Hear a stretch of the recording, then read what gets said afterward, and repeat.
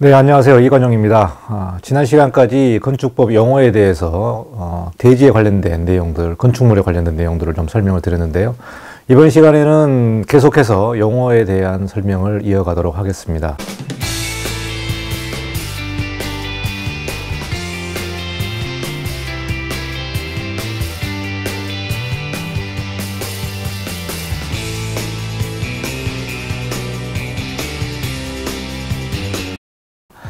건축법 2조에 용어에 대한 설명이 있고요. 시행령에도 용어에 대한 내용들이 있습니다. 그거를 좀 통합해 가지고 어, 설명을 하도록 하겠습니다. 어, 제가 강조하는 얘기지만 일상생활에서 사용하고 있는 용어와 법에서 사용하고 있는 용어는 다르다. 그래서 우리가 실무를 하기 위해서는 법에서 이 용어의 정의가 어떻게 되어 있는지를 좀 살펴봐야 되고 그거를 실무에 적용을 해야 되겠습니다. 이거를 혼동하시면 안 되기 때문에 이 법령 수업에서는 법에서 사용하는 용어에 대한 정확한 정의를 우리가 꼭 알아둬야 될 것 같습니다. 자, 6번에 거실이 있습니다. 거실. 우리가 일상적으로 생각하는 거실 그러면 아파트의 거실이라고 볼 수 있습니다. 주택의 거실. 그게 아니고 건축법에서는 거실이란 건축물 안에서 어떤 거주, 직무, 작업, 집회, 오락, 그 밖에 이와 유사한 목적을 사용하는 방을 거실이라고 말한다는 거죠. 그러니까 아, 우리가 주거 생활을 하는 곳의 어떤 거주와 뭐 업무, 사무, 그 다음에 어떤 특별한 용도를 가지고 사용하는 그러한 용도가 있는 방, 그게 이제 거실이라는 겁니다. 그래서 거실은 거실, 침실, 부엌, 그리고 숙박시설의 객실, 그리고 뭐 학교의 교실이나 의료시설의 병실로 보거든요. 그런데 우리가 왜 거실을 얘기를 하냐면 건축법에서 적용할 때에 거실 면적 500제곱미터 이상은 무엇을 해라. 그리고 해당 용, 도를 정할 때 그 거실 면적으로 기준을 잡는 경우가 있습니다. 그래서 우리가 여기서 알아둘 것은 거실 면적과 비거실 면적이라는 거죠. 그래서 거실 면적은 뭐고 비거실 면적이 뭐냐면 거실 면적은 제가 설명을 드렸고요. 비거실은 현관이나 복도나 엘리베이터, 계단실, 화장실, 욕실, 창고, 기계실 즉 일시적으로 사용하는 공간이 비거실이라는 거죠.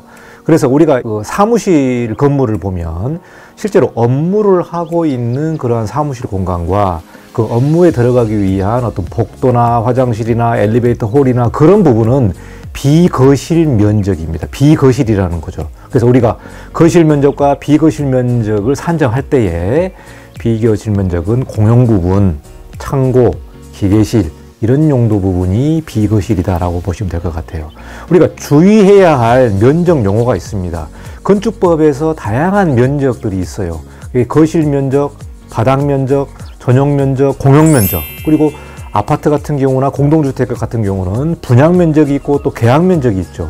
그리고 에너지 전략 계획 대상에는 난방 면적과 비난방 면적으로 또 아, 바꿉니다. 그리고 건축물을 설계할 때 건축 인허가를 진행할 때에 건축물에 대한 개요의 부분에서 건축 면적, 연면적, 주차장 산정 면적 뭐 이런 내용들이 있고 지하층 면적은 얼마냐, 지상층 면적은 얼마냐에 따라서 용적률을 산정하게끔 되어 있습니다. 그래서 이 면적에 상당히 민감하죠. 왜 그러냐면 법적으로 이 면적은 매우 민감하다고 제가 재차 강조를 드립니다. 그래서 면적 산정할 때에 굉장히 좀 주의를 하셔야 될 것 같습니다. 자, 7번에 주요 구조부가 있는데요. 건축물의 주요 구조부란 무엇인가 라고 나와 있습니다. 내력벽, 기둥, 바닥, 보, 지붕틀 및 주 계단을 얘기를 하고 있습니다. 그래서 어, 우리 도표를 보시면은 그 내용들이 보이죠. 그림에 보시면 주 계단, 바닥포, 어, 기둥하고 내력벽 그리고 지붕틀 이렇게 되는데요. 여기에 해당되지 않는 거는 주요 구조부가 아닙니다. 그래서 건축 법령에 사익기둥, 최하층 바닥, 작은보, 차양, 옥외 계단 그 밖에 이와 유사한 것들은 구조상 중요하지 아니한 부분은 제외를 하는 거죠. 그래서 여기서 주요 구조부는 건축물상 굉장히 중요한 그러한 아, 구조부가 되면 될 것 같습니다. 자, 그리고 그 다음에 내화 구조. 내화 구조는 말 그대로 화재에 견딜 수 있는 성능을 가진 구조가 내화 구조가 되겠습니다. 한문으로 견딜 내자기 때문에 불에 견딜 수 있는 성능. 자, 방화 구조. 방화 구조는 말 그대로 방어하는 거죠. 화염의 막, 화염의 확산을 막을 수 있는 성능을 가진 구조가 이 방화 구조가 되겠습니다. 뭐 방화 구조. 여기 뭐 디테일하게 쭉 나와 있는데요. 우리가 뭐 드라이비트 이렇게 얘기를 합니다. 드라이비트는 철망 모르타르 바르기 건축 법령에는 드라이비트란 용어가 없습니다. 그래서 철망 모르타르 바르기 바름 두께가 2cm 이상 그리고 석고판 위에 시멘트 모르타르나 회반죽 뭐 시멘트 모르타르 위에 타일 이런 경우는 두께가 2.5cm 이상이 되어야만 방화 구조에 인정을 받는다. 우리가 우리 흔히 얘기할 때 방화문을 얘기를 하죠. 그래서 이 방화 구획이라는 게 또 건축법상에 나옵니다만은 그 방화 불을 막을 수 있는 성능을 가진 어떤 구획을 정하는 게 방화 구획이죠. 자, 그 다음엔 예, 불연 재료입니다. 불연 재료는 불에 타지 아니하는 성질이죠. 그래서 말 그대로 불연, 예, 불에 안 타는 성질이죠. 그래서 콘크리트나 석재, 목, 벽돌, 기와 철강, 알루미늄, 유리 뭐 이런 부분이고요. 뭐 시멘트 모르타르 위에 뭐 해반죽 같은 경우는 이제 그 두께가 한 2.5cm 이상 되는 거가 이제 불연재료가 되겠습니다. 자, 준불연재료. 준불연재료는 불연재료에 준하는 성질을 가진 재료죠. 그래서 거의 불에 안 타는 그런 성질을 가진 게 준불연재료라고 보시면 될 것 같습니다. 그래서 아, 준불연제 같은 경우는 우리가 단열재 기준에서 준불연 단열재를 사용해야 되는 그런 내용들이 있기 때문에 그건 다음에 또 살펴볼 것 같고요. 난연 재료, 아, 불에 잘 타지 아니한다. 어려울 난자죠. 난연 재료. 내수 재료, 내수 재료는 말 그대로 물에 예, 내수성을 가진 재료, 어, 물에 잘 견딜 수 있는 그런 재료로서 인조석이나 콘크리트, 그리고 벽돌, 자연석, 어, 인조석, 콘크리트, 아스팔트, 도자기 재료, 유리 등이 내수 재료가 되겠습니다. 자, 용어에 대한 내용들을 쭉 이해하셔야만 앞으로 계속 공부해야 될 건축법에 대한 내용들을 잘 파악할 수 있다는 얘기죠. 그래서 이 용어는 가장 가장 기본적인 기본적인 지식이라고 시작하시면 될 것 같습니다. 자, 8번의 건축인데요. 건축법 제2장 1호 8호의 건축이란 내용인데 우리가 흔히 얘기하는 건축은 주로 이제 신축을 얘기를 할 수 있죠. 그래서 건축물 얘기하면 뭐 다 지어진 건축물이라고 얘기하고 있습니다만 건축법에서의 이 건축은 아, 신축, 증축, 개축, 재축 그리고 이전 여기까지 이제 말씀을 할 수가 있습니다. 그래서 아, 이 다섯 개 신축, 증축, 개축, 재축 그 건축물을 이전하는 것 다섯 개가 건축에 대한 아, 정의가 되겠습니다. 그래서 신축은 건축물 대장에 새로 등록하는 겁니다. 그래서 건축물 대장의 기본적인 이력이라고 그랬죠. 건물에. 건물에 대한 이력이기 때문에 건축물 대장에 새로 등록하는 게 이제 신축인데요. 기준을 또 살펴보면 빈 땅, 빈 땅에 건물을 새로 축조하는 게 신축이고 그리고 기존 그 대지에 부속 용도의 건물이 있는 상태가 있어요. 뭐 창고라든지 뭐 이런 관리실이라든가 부속 용도가 있는데 부속 용도 외에 주 용도를 또 새롭게 짓는 거죠. 이런 경우는 이제 증축이 아니고 신축입니다. 네. 그리고 어, 철거 또는 괴멸한 다음에 건축물을 더 큰 규모로 축조하는 게 바로 아, 신축이 되겠습니다.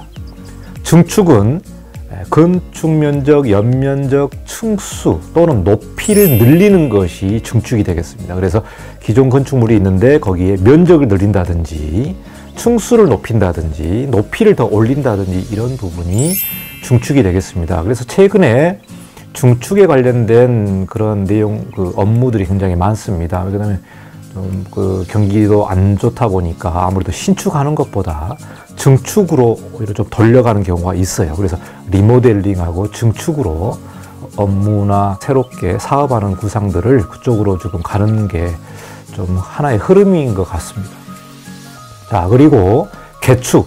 개축은 동일 규모이거나 적을 경우입니다. 그래서 건물을 철거한 다음에 동일 규모나 적게 짓는 경우는 개축으로 들어간다는 얘기죠. 그리고 다이아그램들이 있습니다만 건물을 철거하고 다시 축소한다든가 일부 철거하고 건물을 새로 짓는 경우도 개축이 되겠습니다. 네 번째가 재축입니다. 재축. 재축은 말 그대로 다시 재자죠. 그래서 다시 짓는 건데 개축하고 동일합니다. 동일한데 재축은 재에 의해서 건물이 철거된 경우에 다시 짓는 것 그게 바로 재축이 되겠습니다. 그러니까 우리가 인위적인 목적을 가지고 건물을 철거하는 게 아니고 천재지변이라든가 뭐 산사태라든가 어떤 그 자연적인 큰 그뭐 어, 홍수라든가 이런 부분에 의해서 건물을 철거할 수밖에 없는 상황이 있겠죠. 이런 부분들은 다시 동일 규모나 아, 그런 규모로 이제 지어서 하는 게 바로 재축이 되겠습니다. 자, 이전. 이전은 말 그대로 건물을 그대로 옮겨서 짓는 거죠. 그래서 주로 이제 한옥이라든가 문화재 관련된 그런 그 건축물 같은 경우는 예, 이전을 하는 경우가 있습니다. 이런 경우에 하나의 단서가 붙는 게 예, 방금 전에 배웠던 주요 구조부를 해체하지 않아야 된다. 그래서 주요 구조부를 예, 그대로 가져가서 다시 뭐 재조립을 한다든지 해서 주요 구조부는 해체하지 않아야 된다는 거죠. 그래서 이게 이전이 되겠습니다. 자, 우리가 용어를 좀 아셔야 될게요. 더 좀 설명을 드리면 철거라는 게 있습니다. 철거. 철거하면 철거는 자의에 의해서 이루어지는 행위. 말 그대로 내가 신축을 하기 위해서 기존 건축물을 내가 철거를 해야겠다. 그러면 철거는 자의에 의해서. 멸실. 멸실은 재에 의하여 이루어진 행위다라는 거죠. 그래서 어, 만약에 천재지변에 의해서 건축물을 철거하는 경우가 건축물 철거가 아니죠. 건축물이 이제 무너져 가지고 어, 소멸되는 경우에 이제 멸시를 하는 거고요. 말소라는 게 있죠. 용어에 말소. 말소라는 거는 기록되어 있는 사실을 지워서 없앤다라는 게 있습니다. 그래서 우리가 철거 후에 건축물 대장 말소 신고를 하게 돼 있습니다. 그래서 철거를 했기 때문에 건축물 대장을 없애야 되는 거죠. 그럴 때 건축물 대장 말소 신고를 한다. 그래서 철거, 멸실, 말소 이렇게 한번 확인하시면 될 것 같고요. 자, 대수선이라는 게 있습니다. 여러분 한번 들어보셨을 거예요. 자, 수선과 대수선이 있는데요. 수선은 낡은 것을 고치는 것을 수선이라고 합니다. 자, 대수선은 형태상의 변화나 구조의 안전상 위험할 정도의 수선으로 증축 또는 개축에 해당하지 않으면서 수선하는 게 바로 대수선이라는 거죠. 그래서 대수선은 예, 구항에 대수선이라는 정의가 나와 있는데요. 건축물의 기둥, 보, 내력벽, 주계단 이게 이제 주요 구조부죠. 어, 등의 구조나 외부 형태를 수선 변경하거나 증설하는 것을 대수선이라고 어, 정의를 하고 있습니다. 거기에 세부적으로 대통령령으로 자세하게 아홉 개 정도의 항목을 또, 또 자세하게 설명을 하고 있습니다. 그래서 내력벽을 증설 또는 해체하거나 그 벽면적을 30제곱미터 이상 수선 또는 변경하는 것, 뭐 이렇게 나와 있죠. 요거는 아마 처음 보시는 분들은 내용을 파악하기가 상당히 어렵습니다. 그래서 이 항목들을 딱 맞아야만 이게 대수선이라는 거죠. 그래서 어, 두 번째, 기둥을 증설 또는 해체하거나 세 개 이상 수선 또는 변경하는 것 이렇게 돼 있기 때문에 하나의 기둥을 증설하거나 해체해도 대수선이라는 거죠. 그러나 증설하거나 해체하지 않고 두 개를 수선하는 것, 수선하는 것, 단순히 수선하는 거죠. 그런 것은 대수선이 아니라는 겁니다. 그러니까 요 항목에 딱 맞아야만 대수선에 해당이 된다는 얘기입니다. 자, 세 번째. 보호를 증설 해체하거나 세 개 이상 수선 또는 변경하는 것. 예, 여기에 보호죠. 자, 네 번째는 지붕 틀이죠. 지붕 틀은 보통 이제 한옥의 경우에 이제 해당되는 게 많을 것 같아요. 그래서 지붕 틀을 증설 해체하는 것, 세 개 이상 수선하는 것, 변경하는 것. 그러니까 내력벽, 기둥, 포, 지붕 틀에 대한 증설 해체가 없고 두 개 이상 수선하거나 변경하는 것은 대수선이 아니라는 겁니다. 세 개 이상부터가 대수선이기 때문에 모든 항목들을 두 개씩만 수선해도 대수선이 아니라는 거예요. 자, 예를 들면 내력벽 10제곱미터를 해체할 경우는 대수선이라는 거죠. 해체가 들어간다면. 예, 그리고 내력벽에 대한 증설 해체는 면적 규정이 나와 있지 않습니다. 그래서 면적에 조금만 해체가 되더라도 어, 이거는 대수선 해당이 되는 거죠. 쉽게 생각하면은 다세대 주택의 내력벽들이 있지 않습니까? 다세대 주택의 내력벽에 조금만이라도 해체를 한다면 이거는 대수선에 해당이 되는 거죠. 자, 다섯 번째. 방화벽이나 방화구획을 위한 바닥이나 벽 증설 또는 해체하는, 변경하는 게 또 대수선이고요. 주계단, 피난계단, 특별 피난계단을 증설, 해체하거나 수선 또는 변경하는 것이 대수선입니다. 저희가 프로젝트 리모델링 프로젝트를 한번 진행을 하면서 주 계단을 다른 쪽으로 이전하는 경우가 있었습니다. 이건 완전히 해체하는 거죠. 다행히 뭐 철골 계단이었기 때문에 철골 계단을 해체해서 다른 쪽으로 아예 이전하는 것, 뭐 그런 것도 이제 대수선이 되겠습니다. 자, 미관 지구에서 건축물의 외부 형태를 변경하는 것, 외부 형태라 하면 담장까지 포함이죠. 그래서 건물의 형태나 그런 부분들을 변경하는 건데요. 미관지구는 지금 아직 법에서는 이렇게 나와 있습니다만은 지금 폐지가 되고 있죠. 그래서 2019년 4월 중순 이후로 미관지구가 없어질 것 같고 미관지구가 경관지구로 다 변경이 될 것 같습니다.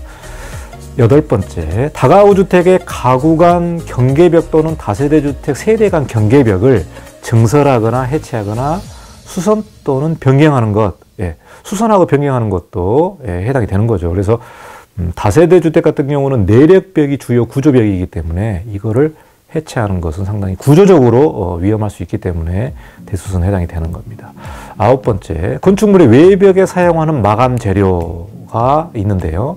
주로 리모델링에 해당되는 내용이 있을 것 같습니다. 그래서 예전에 건물 보면은 건물이 주로 타일 마감의 건물을 석재로 변경한다든가 알루미늄 패널을 붙인다든가 뭐 루버를 단다든지 뭐 이런 경우에 외벽에 사용하는 마감 재료를 증설하거나 해체하거나 벽면적 30제곱미터 이상 수선 또는 변경하는 것 그러니까 대부분 해당되는 겁니다. 이 부분은 대수선이 해당이 되겠습니다. 자, 그래서 어, 대수선에 해당이 되면 아무래도 이제 어떤 규모에 따라서 허가 절차를 받아야 되고 신고 절차를 받아야 되거든요. 그래서 도면을 작성을 해야 되고 허가권자와 협의를 해서 진행을 해야 될 것 같습니다. 자, 열 번째 리모델링인데요. 리모델링에 대한 용어의 정의가 추가된 지가 얼마 안 됐죠. 그래서 리모델링이라는 것은 건축물의 노후화를 억제하거나 기능 향상 등을 위하여 대수선하거나 일부 증축 행, 증축하는 행위를 리모델링이라고 말합니다. 여기서 이제 대수선에 대한 용어가 나오죠. 그래서 리모델링은 궁극적으로 노후화를 억제하거나 기능을 향상하여 어, 대수선을 하고 또 일부 증축하는 행위가 리모델링이 되겠습니다. 그래서 어, 리모델링에 대비한 특례 같은 부분이 있는데요. 이 부분들은 나중에 한번 좀 살펴보겠는데 리모델링이 쉬운 구조로 하게 되면 어떤 인센티브를 받게 돼 있는데 소규모 건축물에 대해서 그런 해당되는 사항은 없고 주로 공동주택에 대한 내용들 그 리모델링에 대한 어떤 인센티브를 주고 있다. 뭐 그렇게 한번 쉽게 이해하시면 될 것 같습니다. 자, 여기까지, 어, 리모델링까지 저희가 용어 정의를 한번 쭉 살펴봤습니다. 그래서, 어, 한번, 가장 용어는 기본이기 때문에 한번 쭉 살펴보시고, 다음 시간에도 이 그 용어에 대해서 계속해서 좀 설명을 이어가는 시간이 될 것 같고요. 자, 여기까지 수업을 마치고 다음 시간에도 찾아뵙도록 하겠습니다. 어, 오늘도 즐거운 시간 되시기 바라겠습니다. 감사합니다. 이관영이었습니다.